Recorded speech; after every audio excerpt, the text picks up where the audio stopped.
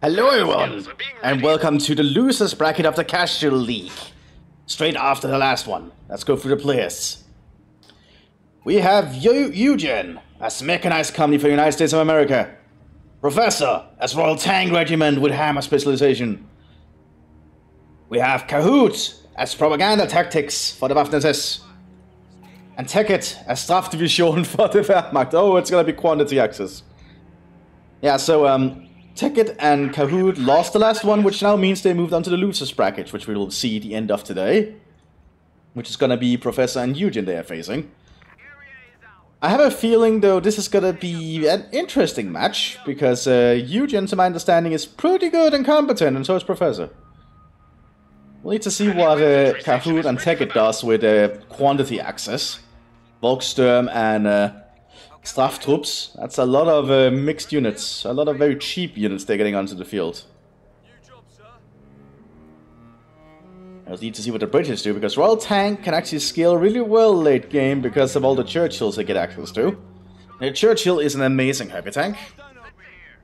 Looks like Eugen is going for some riflemen and then straight into cavalry troopers and unique infantry to be able to to uh, mechanized. I generally always just use the cavalry troopers if I'm instead of the riflemen if I'm playing as mechanized because I think it's more thematic. That's just my own personal opinion. Brits have already secured a lot of points, but they're not actually taking the cutoff. So that means they're not gonna getting they're not getting anything off these off these points actually. That's a little bit of a wasted time early on, or wasted resources early on.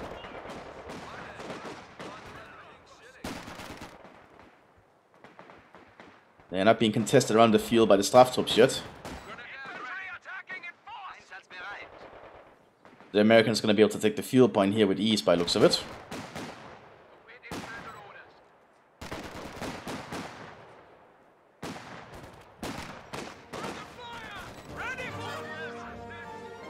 Straftroops are going to open fire here once they spot the rear echelon. But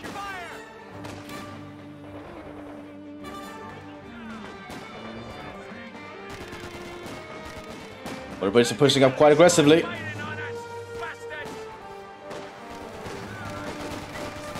Oh, and the Volkssturm are just taking heavy losses.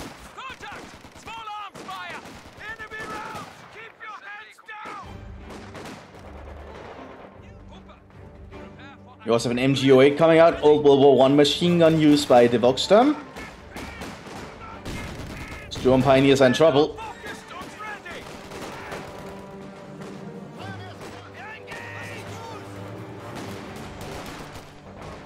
Yeah, that's just pushing up aggressively here.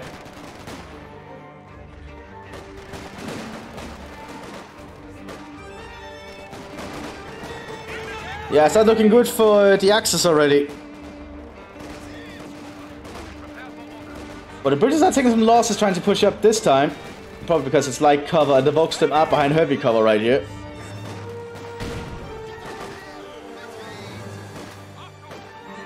Pioneers pulling back. Grenadiers and the Straftroops are not going to last up against all this uh, against all these American infantry.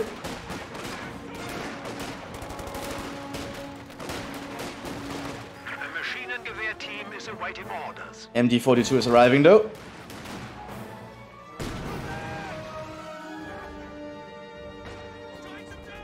MG8 opening fire.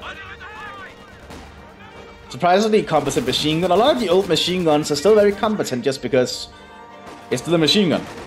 It fires bullets very, very fast. And that's generally all you need. Mills bomb going in and these Volkssturm. That did not do much, actually.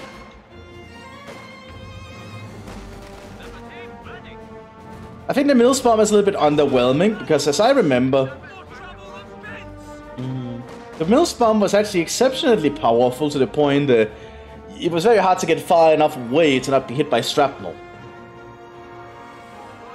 But that might be the World War One version I'm thinking of. Hmm.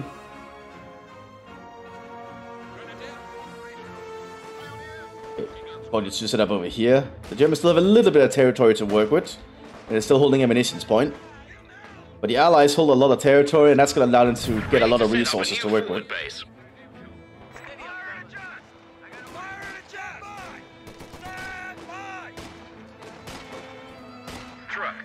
But we actually have combat engineers armed with carbines. Companies is another cool unit you can get as mechanized, and I believe they also serve as a call-in for armor, as we saw in the last um, in the last match. That's a great on the American position. Oh, that actually killed a lot of them. Holy shit. That was a lethal grenade right there. The MG should probably have some infantry to support as it moves up. You don't want to move your machine gun up on its own. Especially against people who have pineapples.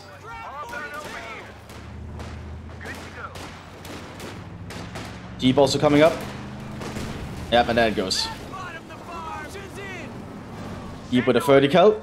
Mobile suppression platform. Advanced vehicle crew tactics now in effect. All units to adjust. Generally don't move your machi heavy machine guns up without infantry support first. That's a very important thing to note. And the Volkssturm are gonna try and hold this flank. Another MG08, oh god, we're just seeing a lot of Volkssturm being called in. Young boys and very old men, some of them likely veterans of the First World War. Horrible, horrible stuff. A little uh, last-ditch defense here from the Germans against the overwhelming Allied forces that are pushing into Germany.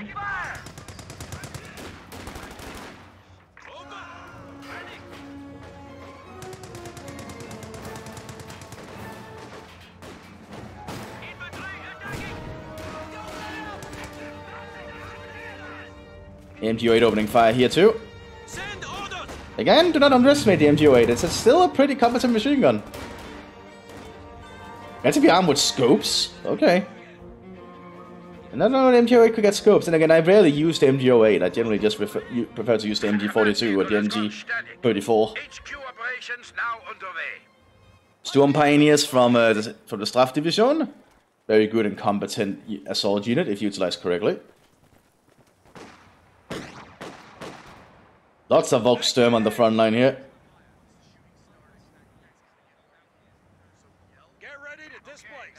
Let's see what I can do here from this position. Volkssturm is pulling back for some reason. White phosphorus grenade. All sectors, all sectors. Ability now ready. M3 half tracks bearing assault engineer. British forces moving up here with Bren guns. It's the Bren gun Mark II.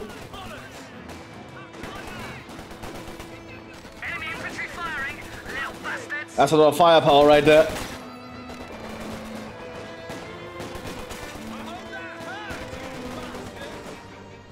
The Volkssturm are getting overrun on the other flanks. The Bren guns is being too much for them.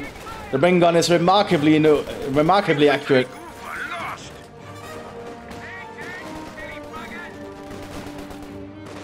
Plus they can fight on the move, which is a pretty neat little thing. Wait for the Volkssturm. Oh, that's a good grenade.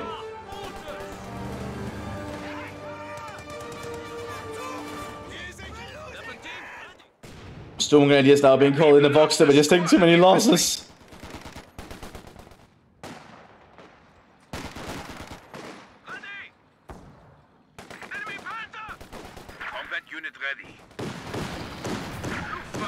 Now the flaks can open fire. Bren gun is moving in. Open carrier rather. But the flak can hit it.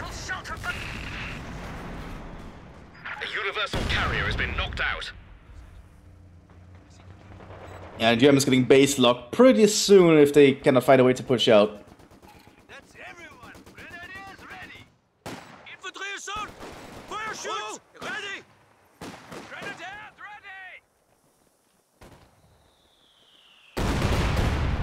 Well, that was a rapid response artillery, I think. The time on target, yeah, time on target, that's what it means. So all the shells land almost almost immediately next to each one another. Storm Grenadiers coming out here armed with the Volkssturmgewehr. A cheaper, a cheaper version of the Sturmgewehr that was designed at the very end of the war.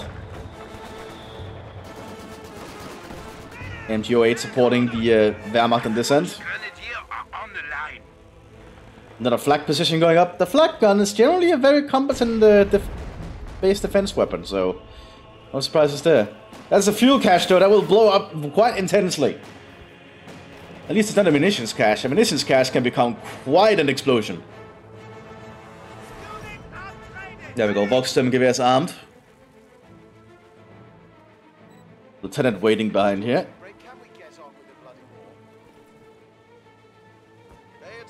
Oh, a demo charge. There's an officer awaiting orders. I didn't know the lieutenant for the British Army could get demo charges. Supply to Tommy's. Attention, men. We're getting new orders. Then again, the lieutenant, is, as I've noticed, is very much a combat unit since he's a five-man. So I guess he has a lot of other duties on the front line. Awaiting orders. Machine on. We're going in on the machine gun. Under attack. Did not hurt anyone. Upgrades are. Stormtroopers being prepared from the Waffen SS. A bit of lag. MG34 for the Straftroops. Flak gun is now present. They're gonna have to move quickly. there. The Grenadiers need to notice. Oh, that's a that's a late fuse, and that actually is gonna give them time to get out of there.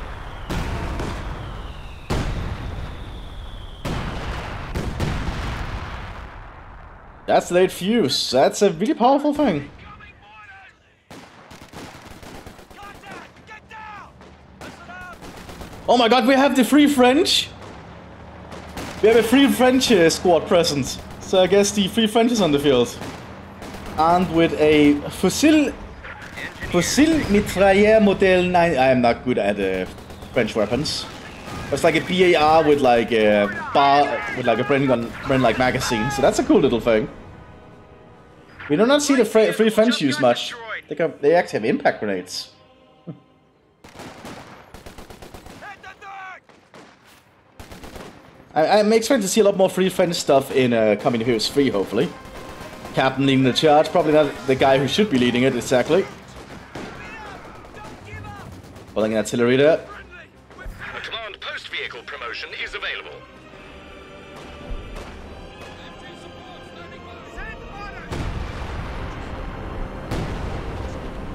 There we go. They have stormtroopers here.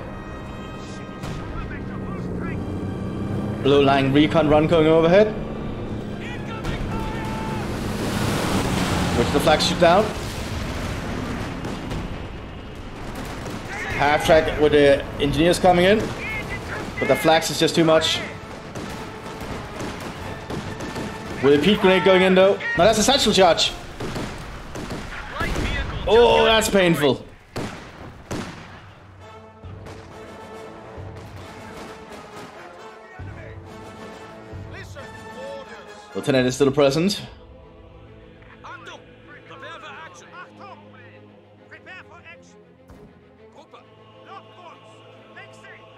To move. To arms.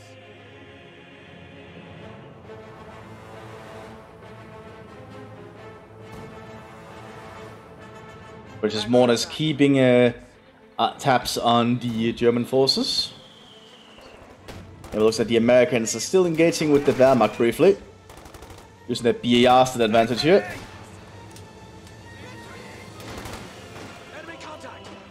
Lieutenant moving up in the open. Probably not the best place for him to be. Artillery going in the SS position. That's pretty cool with the time on target. Sherman ready. That's just not enough to follow up with at the moment. The Germans can quickly get back into position if they want. But the British are just moving in, and the Germans are not moving back into their fighting positions. Not good. Also, uh, delayed fuse on the flak position, destroying it. Here comes the British.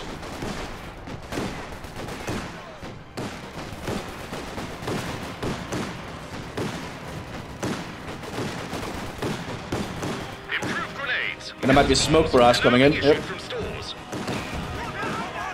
From. One flash it.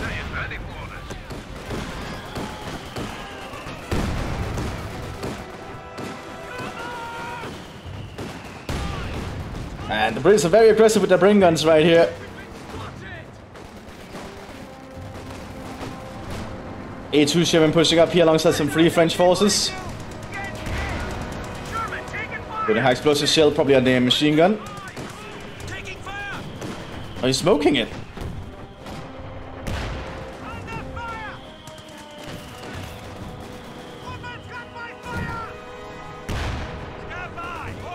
Now the Free French are moving up.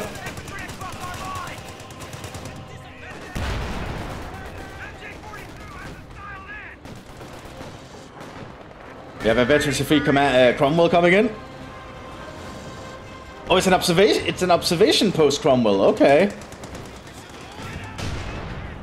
So it's also serving as a essentially a, an area to call in artillery from, I think.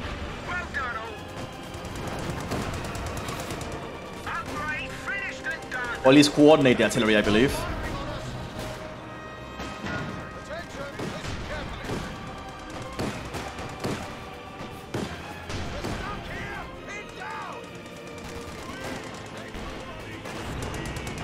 The Americans are soon gonna have the equipment which they even have a Scott. Deep down. I think the Free French died? Yeah, the Free French is gone. That sucks. Panzerjäger's moving out in the open. Our industry grows to support us. Gebaldung. Gebaldung attempt. Cromwell uh, Mark 6, I believe. Mark 6 observation tank. Is doing its best here. Panzerfaust from the Volkssturm could be a problem though, which is why he's pulling back.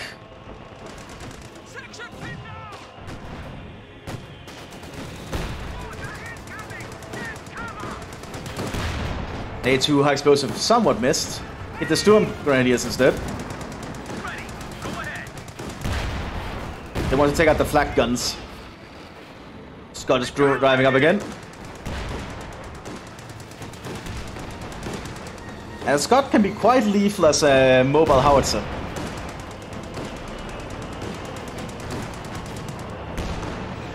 Yeah, it's aiming for the Panzerjägers, but the Panzerjägers are a very small target.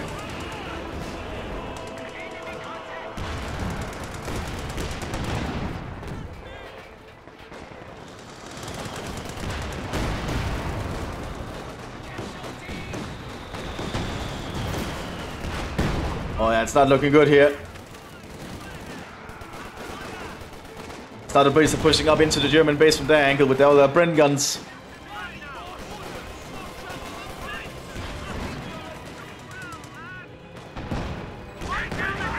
Scott and Sherman working very well together. High explosive going in the pack. Good shot. The entire crew.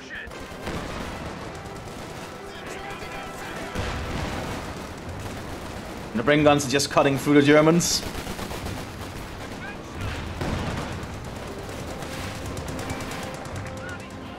Oh, the uh, Scott lost its gun, but it can still fire? What the fuck? That seems like a bug. That's definitely a bug. That probably has to be looked at.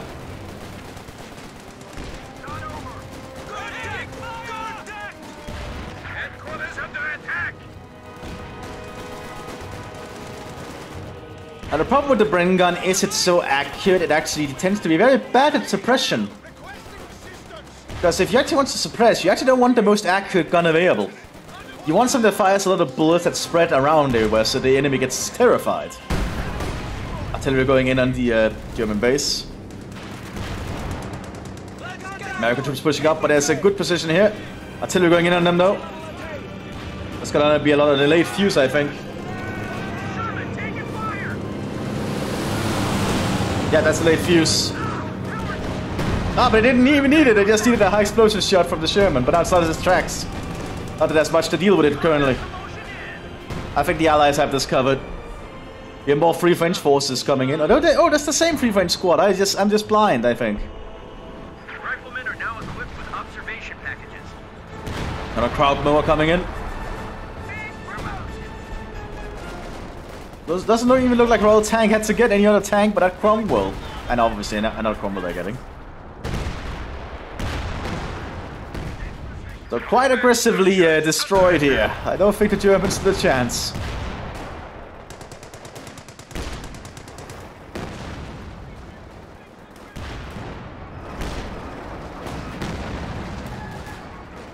Germans pushing up again. Probably try and take out the other flak if they can.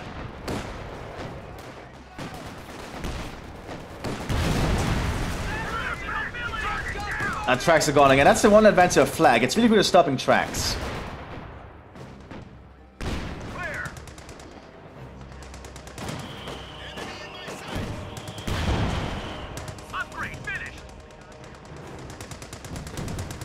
Looks like it has got an increased uh, armor on, an increased armor ability, whatever it's called. I think that's increased the armor by looks of it, only health. Also, it slows down the Sherman a bit. I think the idea is that they just put a lot more sandbags and stuff on an improvised armor like the Americans like to do.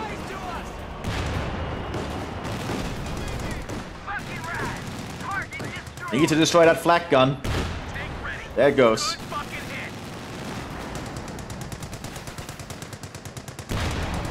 And the Germans are essentially taken care of. Looks like they are determined to fight to the end or something. Not that they have much left to fight with. HQ is under attack. Here come the Free French.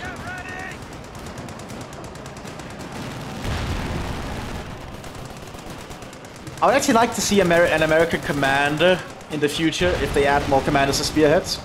That's focused entirely around Free French, or perhaps the British, I'm not sure. Because I enjoy the Free French stuff. That's a really cool little addition.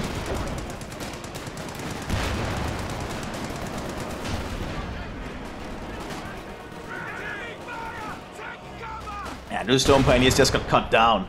This is right last building, and then this is over. Behind our lines. Headquarters attacked. Come on, just destroy the last one. It just requires one more shell. If you could hit. There you go. And it looks like it's gonna be Eugen and... What's the name? Professor. That essentially is gonna win the... Uh, I believe this was the losers, uh, the losers bracket of Casual. Yes, yes it was. So congratulations to them. And we will see the finals of the Casual bracket tomorrow. Bye bye.